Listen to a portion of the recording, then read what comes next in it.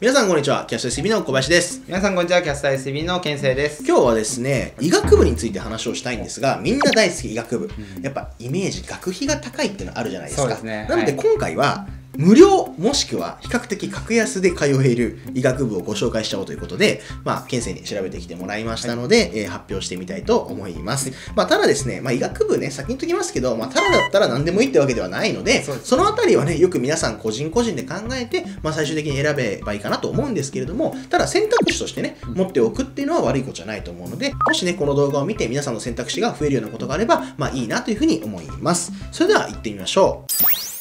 はい、じゃあまあ一つ目の、え学校を紹介していきたいと思うんですけれども、まず一つ目がですね、防衛医科大学校ということで、こちらですね、場所は埼玉県の所沢市にある学校で、まあ、設立の経緯といたしましては、1973年に自衛隊内の医療部門のこの幹部自衛官ですね、これをこの人材を養成する部門が独立して、まあ、それを養成する目的で設立されたということで、まあ、通常の大学は文部科学省が管轄しているんですけれども、こちらの防衛医科大学校はですね、えー防衛省がえー管轄している学校なんですよね、はい。小林さんこちらの防衛医科大学校なんですけどもご存知でしたか？はい、まあ、そうですね、医学部としては、先にちょっとね、受験が早いとかっていうので、僕の友人もね、受けたりしたんですけども、まあ、正式にはね、大学って名前じゃなくて、まあ他の動画でも紹介するんですけど、大学校っていうね、えー名前になってます。まあ、この他にも、例えば警察大学校とか、あとは気象大学校、あとは海上保安大学校とかいわゆるその大学って名前じゃない、大学校っていう名前のものも、まあ、意外といろいろありますので、うん。まあ、もう興味あるなって思う人は調べてみてください。はい、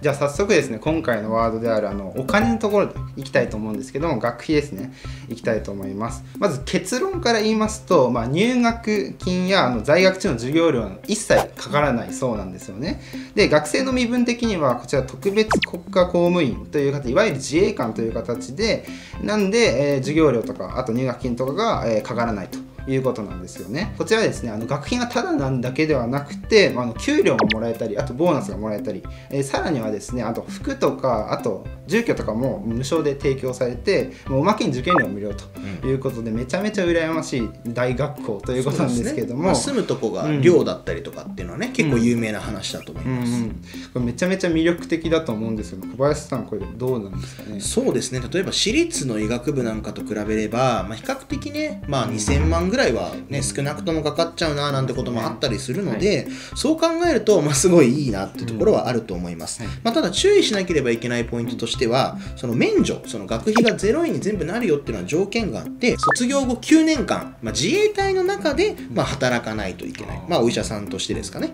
働かなきゃいけないということなので、まあ、これをですねちゃんと果たさないと学費をちゃんと返納しないしなさいということで、まあ、5000万円とも言われる金額を払わないといけないということになっちゃうので、まあ、そこはですね、まあ、しっかりと、まあ、9年間そこで働くのかっていうのはよく考えてからま入ってもいいかなと思います。えあとはですねそのお医者さんとしてこれもまあ僕のまた聞きなんですけれどもどうしてもその医官としてその、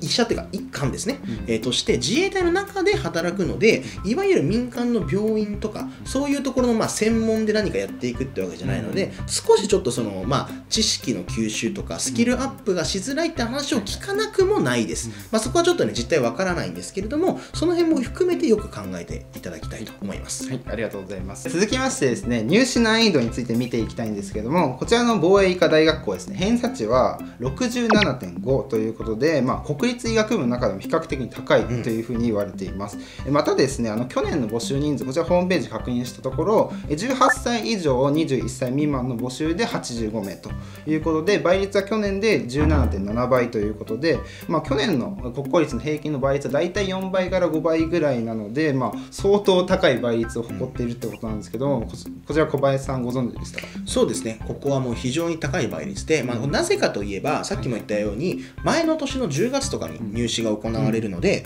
まあ、併願ができるんですね。だから、難しいところをもともと狙っている、例えば離散志望の人とか、そういう人がまあガンガン受けに来るって話もあります。まあ、なので、変な話、例えば、医科歯科に落ちたけど、あ受かったけど、防衛学校、防衛医科大学校に落ちてしまったみたいな話もあるぐらいな、まあ、ところなんですよね。あとはですね、現役生に不利なポイントもあって、はいはい。その受験が早いんですよねさっき言ったように。10月とかから始まるので、なので例えば3が終わってない数3が終わってないとかあ物理とかが終わってないとか、まあ、そういうのでちょっと現役には不利なんですけど、でもさっき言ったようにその年齢制限っていうのがあるので、まあその一浪した人とかが結構受けるイメージは僕ありますね。じゃあ2つ目の大学行きたいんですけどもこちら自治医科大学ということで場所はですね栃木県の下野市というところにあって、まあ、設立の経緯といたしましては1972年に、まあ、医療に恵まれない僻地とかあと医療の確保を目的に地域住民の福祉福祉の増進向上を図る目的で設立されたということででこの大学自体はですね地域医療の責任を持っているその自治体がま共同で設立したっていう学校なんですよね。で小林さんこちら自治医科大学存知ですか？そうですね、まあ、医学部志望であれば、まあ、検討に入りやすい、まあ、大学の一個でもあると思います。で、まあ、私立大っぽく扱われることがあるんですけれども、まあ、実際はですね、その毎年のその費用、まあ、経費ですね、こちらは全都道府県から出す形になっていまして、まあ、どちらかというと公立職の方がまあ強いかなというイメージはございます。まあ、なので、まあ、地方の大学だと、まあ、地方の学生が多いっていうのが、まあ、よくあるんですけれども、まあ、自治医大の場合ですね、まあ、学生も全国からまあ受験してくるという形になるので、まあ、通ってる学生も結構バラバラだったり出身地がね、えーしますね。じゃあ続いてですね学費行きたいんですけれども6年間で総額2300万円ということで、まあ、高いんじゃないかってことなんですけれども、まあ一般的な次第と同じぐらいって思うと、まあ、この学費に関してはちょっと高いなと思うんですけどこちらですねあの貸与型っていう形をとってこの2300万が一旦負担されて学生は払わなくていいと。卒業後9年間知事の指定する公立の病院だったりとかあと僻地に行ったりして、まあ、勤務した場合ですねその学費がまあ返済しなくていいよっていうふうになるということなんですけどもこちら小林さんですね実質無料っていうことでかなり羨ましい大学かなっていうふうに思うんですけども、そうですね。あのこちらの場合確かにあの指定した場所で、指定された場所で働かなければいけないので、はい。まあ、9年間ちょっと縛られるじゃないかと思うかもしれないんですけど、さっきのね防衛医科大学校と違うのはあのいわゆるその、まあ、民間の民間というか一般病院っていうんですかね、えーで働くことができるので、まあ、その比較的医療としてはその現場の医療っていうのに触れることができるっていうのは、まあ、ちょっと防衛医科大学校よりは、まあ、違う部分かなというふうには思います。はい、なるほどですね。じゃあ早速ですね、こちらの入試難易度について入っていきたいんですけども、はいこちらですね、偏差値が67.5ということで、まあ、防衛医科大学校と同じぐらい高いということなんですけども、こちらの去年の募集人数に行くと、地域枠を合わせて123名と。いうことで倍率はですね17.4倍となっております。で、まあ、防衛医科大学同様にかなり高い倍率なんですけども小林さんこの数字見てどうですかね？そうですね。やはり防衛医科大学校と一緒で併願ができるっていうのがやっぱり魅力の一個だと思うんですよね、あとは入試難易度で言っても、まあ、あの医師国家試験の合格率が実は高いところでして、うんうんうん。まあ、これもまあ有名度がまあうん高まっている一個のポイントかなというふうに思いますね。で一応そのまあランキングで言うと、えー、99.2%受かってて 第1位と、まあ、ただまあそれだけであの絶対にいい大学かって言えるのはちょっと別なんですけども、まあ、そういう指標もまああるような感じなので、まあ、あのお医者さんを目指したいという方は、まあ、決して悪い環境っていうふうには言い切れないんじゃないかなというふうに思いますね。はい、ありがとうございます。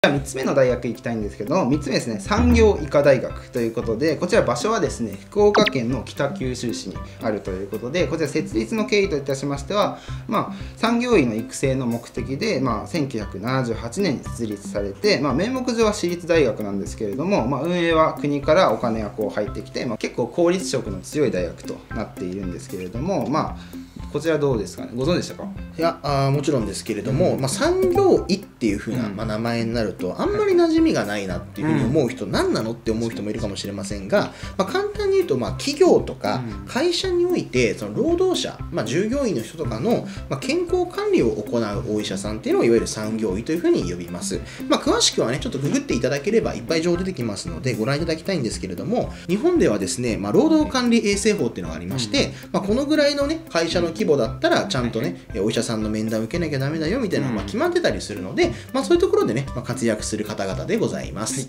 では続きましてですね学費について早速いきたいんですけれどもこちら学費なんですけれども約3000万となっていて、まあ、一般的な私立大学と比較しても結構高いなっていう感じなんですけどもなんで紹介しているかっていうとですねこちら修学のあの資金貸与制度っていうものがありまして、まあ、ある程度ですねその負担がえされるんですよね。で実質的に負担されて払う金額っていうのは1100 100万円ほどなのでまあ私立大学の中ではちょっと安い方なのかなっていう感じで、まあでも国公立と比べべるとちょっと高めに思えるかもしれないんですけどさらにですねこの産業医科大学っていうのはあの学費サポート制度さらにありましてでそれで授業料免除だとか特待生制度だとかそういうものが存在するのでさらに金銭的なサポートが受け入れてさらに安くなる可能性があるとい。うことなんですよね。でこちら授業料免除に関して言えばあの60名ぐらいなんで受け入れるみたいで、まあ、それに通れば、まあ、0円で通えるっていうことなんですけどもこちら小林さんご存知でした？はい。あのここもですね、まあ、学費の部分では、まあ、パッと見ねさっき紹介した2つよりは高いって思いがちなんですけど、その医学科100人のうち60人がこの免除対象になるということで、